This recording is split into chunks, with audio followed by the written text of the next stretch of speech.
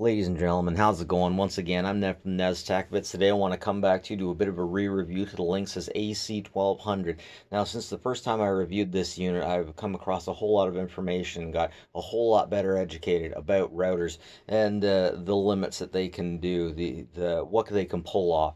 So I want to put this thing under a bit of a stress test and see how fast it can transfer locally over the local area network, wireless, wired, I want to see what band it has decided to put itself in and uh, give it a bit of, of a, a, range test. Anyways, let's go.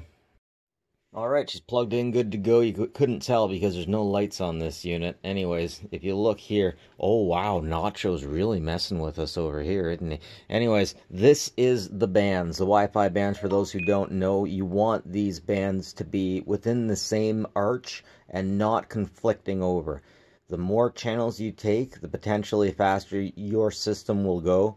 But some units, uh, some hardware doesn't work with higher channels, so sometimes it'll make things harder for you.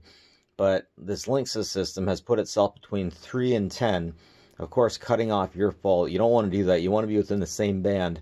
Or better yet, you want to be outside of anybody else's band.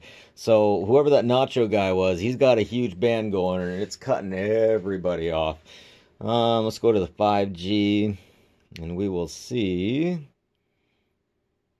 Yeah, like it's interesting. I, I wonder how these systems automatically set themselves up for different bands because I have bands right beside that that urban 5G. I have bands right beside it that aren't open and it's still taking up that band. It must know it, it must know that it's within somebody else's band.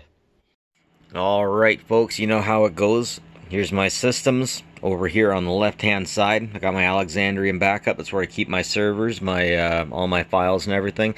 And over on the right hand side over here, that's where I keep my power system. That's the system that I use to uh, do my work. And I'm going to do a transfer from one to the other directly. This These things are both wired or they're not even hardwired right now. They are connected in with AX technology, that's a dual band, and this router, which is once again line of sight, just over there. It uh, it has line of sight. This should be optimal performance, optimal experience. Let's see how fast it goes. Okay, so unit to unit, I'm getting about 10 megabytes a second. That's uh, that's on the high end. I was definitely expecting a little bit more, but hey, that ain't bad, that ain't bad. Next up, I'm going to try to hardwire one of these systems in the server and see if it boosts the speed. Okay, so in this case, my server is now hardwired. It does seem to be helping out with the speed, but not a lot.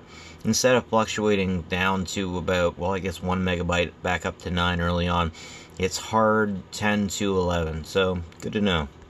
Alright, for my next test, I got both of these units hooked up. I'm expecting to get about 12 megabytes a second because this is fast Ethernet that, uh, not gigabyte, which means, yeah, it's about how fast it should go. Okay, both units plugged in hardwired, and the speed's just about the same as it was the first round. That's interesting. Still, that'll get you through. I mean, if you don't have a big family, that's fine. But if you do have a big family, I definitely think you want to be dropping a little more, more money on your system than just this.